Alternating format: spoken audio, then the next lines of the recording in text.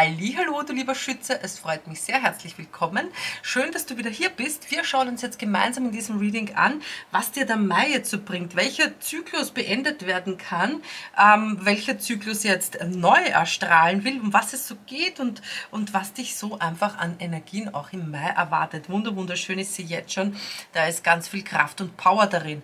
Schauen wir uns das mal gemeinsam an das, was ich ganz stark spüre, ist, dass ein alter Zyklus, der ist jetzt wirklich beendet. Und zwar ging es da um, Illus, ähm, ja, um Illusion, aber auch um Isolierung, um auch so eine Gespaltenheit irgendwie, wenn man zwischen zwei Welten sich befindet. Ja, ich habe das jetzt mit, dem, mit den Erklärungen, auch mit dem, immer wieder mit den Brücken, wo du am 28.05. und jeden 28. im Monat dabei sein kannst, über meinen Memberbereich, unten in der Infobox die Daten, kostenfrei ein Live mit mir, Zoom, ja, wo wir uns, wo wir wirklich auch in die, ja, ins Erschaffen gehen miteinander. Aber da habe ich so eine Spaltung mit drinnen, ja. Altes vergeht, damit Neues entsteht, ja.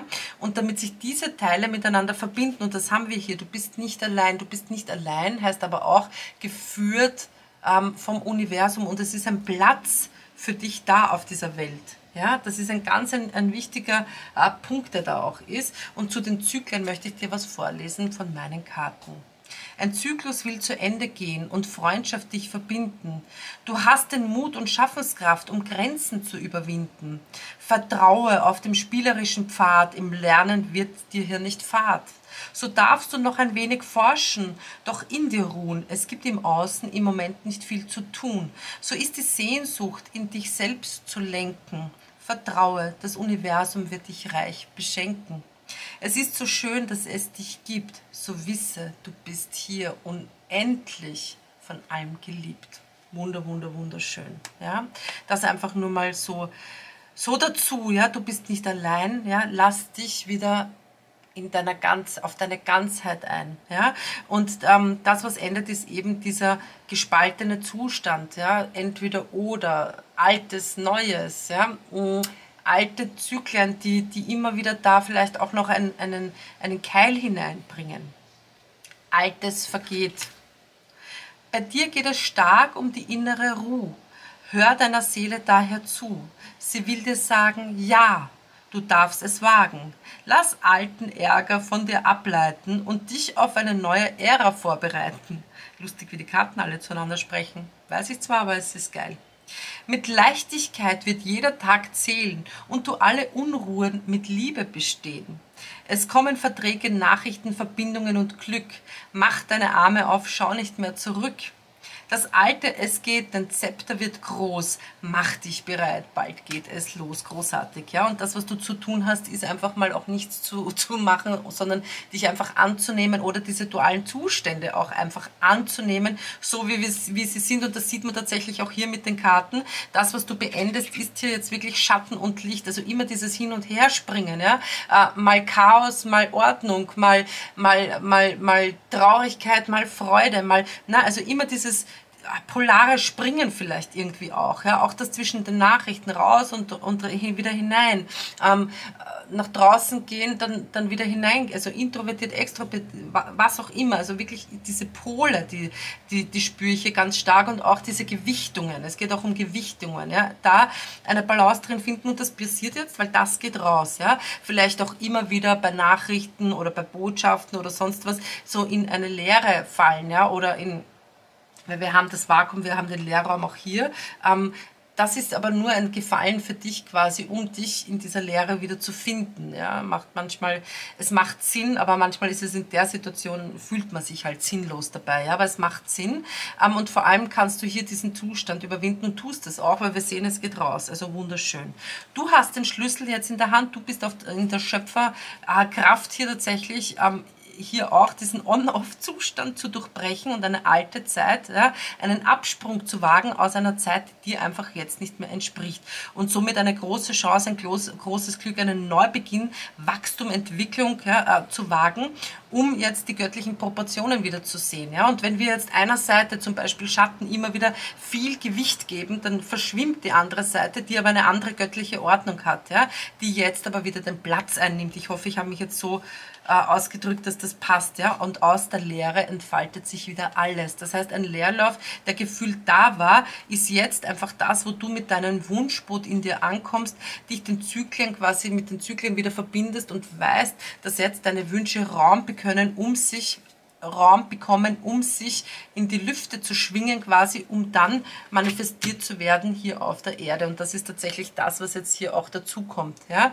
Die Fruchtbarkeit des Lebens, die Empfängnis der Fruchtbarkeit hier auf Erden, dass du, dass du diesen, diesen, dieser Dualität, dieser Polarität hier einfach dein Herz schenkst, deine Gnade schenkst und den Zyklus wieder annimmst ja, und nicht dagegen ankämpfst. So kommt das irgendwie. Weil das, was ich jetzt hier ähm, implementieren, was ich jetzt hier, äh, was jetzt hier hineinkommen will für dich, was jetzt hier ähm, stark wird, groß für dich, äh, groß wird für dich, das, das, das, das sprudelt, ja, ist tatsächlich der Ausgleich, das Vertrauen hier auf Erde, dieses Gefühl, angenommen, angekommen zu sein und mit diesen ganzen Dingen hier verbunden zu sein, auch mit den Zyklen hier verbunden zu sein und das nicht so als Spaltung, es kommt immer wieder die Spaltung zu sehen, dich als groß zu sehen und in Verbindung mit dir zu gehen und mit diesen Zyklen auch Frieden zu schließen, in Verbindung mit den Zyklen gehen, um dich auch als großes Ganzes zu sehen. Wunder, wunderschön.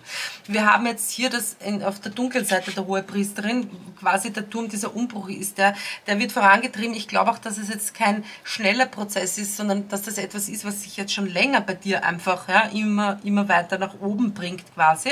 Und da habe ich hier drinnen irgendwie irgendwie so diese eine Unruhe im Unterbewussten, ähm, weil man sich hier nicht geborgen gefühlt hat, weil man sich nicht geschützt, getragen gefühlt hat. Und jetzt ist hier der Vater und vielleicht ja auch vom Vater, aber irgendwie kriege ich das sogar auch vom Universum irgendwie mit. Ja? Also nicht nur von dem Vater selbst oder von der Familienstruktur, sondern wirklich, ah, da haben wir auch das große Ganze geil, visionär, dich, deine Eingebungen folgen, ja, du sein, ja, und dass du dich vielleicht im Du sein, in dich ganz fühlen, nicht so gehalten, geborgen und richtig gefühlt hast, wie du es dir gewünscht hättest. Und dass da noch so ein bisschen die Unruhe drinnen liegt oder der, der, ja, dieses Unwohlsein drinnen liegt, auch vielleicht in Bezug auf Mutter Erde und aber auch den Kosmos in einem Ding drin. Ja, das ist so wie Lost in Space irgendwie. Man hat sich da vielleicht nicht stark getragen gefühlt, nicht, nicht gehalten gefühlt hier auf dieser Erde vielleicht, auch vom Kosmos, von,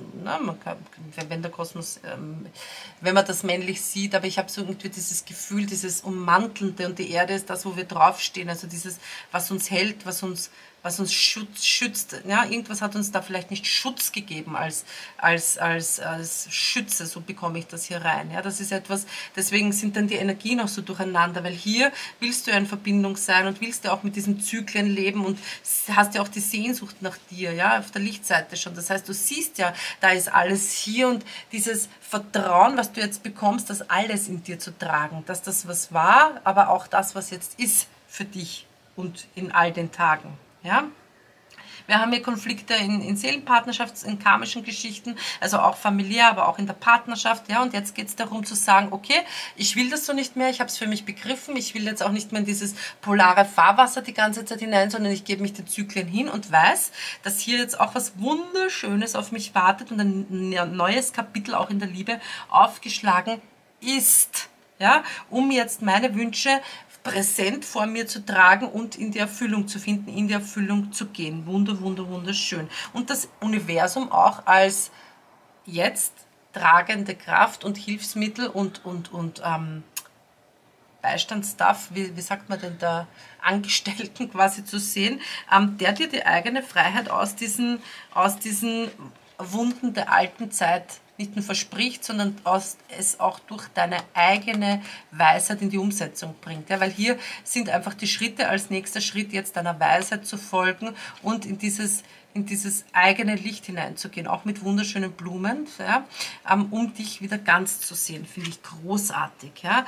Und aus dieser Sinnlosigkeit, die man manchmal bei, bei gewissen Situationen empfindet, äh, Liebe hineinfließen lassen, das Gefühl wieder hineinzufließen lassen, das Gefühl wieder hineinfließen zu lassen, Liebe für sich zu spüren, ja, um ähm, diese Sinnlosigkeit zu erkennen und nicht mehr als Kampf mit der Sinnlosigkeit auf der Erde oder den Zustand, den man da gefühlt hat, wo man sich alleine gefühlt hat, sondern sich jetzt wieder Kraft seines Willens zu ähm, na, sagt der Rat der Hohe Priesterin, sich dazu entscheiden, nicht mehr in der Unruhe zu stehen, sondern Kraft seines Willens wieder seine Träume zu sehen und sich ganz klar für sich, für seine Liebe, für seine Träume, für sein Leben, für seine eigene Weisheit zu entscheiden und zu erkennen, wie wundervoll in dem Fall du bist. Bleib positiv, denn jetzt ist es Zeit. Zeit für Liebe und Unendlichkeit. Was in dir nicht weiß, was will es nun wissen? Lass es raus, lass es frei, geh ins Genießen. Dein inneres Kind, es will Luft laufen, frei sein und tun. Es will Luft laufen. Ja, okay, es will Luft laufen. Also es will in der Luft laufen, in der freien Luft laufen. Es will nicht nur innerlich laufen, sondern geh vielleicht auch hinaus. Ja, ähm, geh ins Genießen was in dir nicht weiß, welcher unbewusste Teil ist da, der eigentlich eh weiß, ja, das ist, das will es nun wissen, ja, da ist eine Neugierde da. Dein inneres Kind will laufen, will frei sein, will tun, will genießen. Lass Ängste und Sorgen endlich ruhen. Auch in der Liebe wird das Blatt sich wenden und die Verstrickung endlich enden. Was noch verborgen, das kommt jetzt ans Licht vertraue weiter und sorge dich nicht. Wunderschön, das ist nämlich genau das, was wir auch noch tatsächlich schon drinnen gesehen haben in den Karten. Ja, ich liebe das. Engel auf Erden und der Stern, der Stern, der du ja bist, weil hier den Stern haben wir auch hier gehabt tatsächlich, jetzt noch einmal. Ein Stern wird leuchten hell und klar. Das Leben ist begeisternd schön und wunderbar. Es bringt dir Freude, Leichtigkeit und Glück. Schau mehr nach vorne, nicht zurück. Du bist umgeben von einem mächtigen Schein. Lass Ängste nicht in dein Herz hinein. Im Hier und Jetzt wird dein Weg geschrieben. Achte daher auf, achte daher auf fruchtbare Triebe. Du kommst du kommst zu weit, aber bitte hör zu, denn im Wachstum braucht deine Seele Ruhe, ja, das Becken mit dem Ankommen. Oh. Nimm Zeit dir, um genau hinzufühlen. Es ist dein Weg, um wieder zu werden, auf das du dich erkennst, geliebter Engel hier auf Erden. Bis dann, Baba.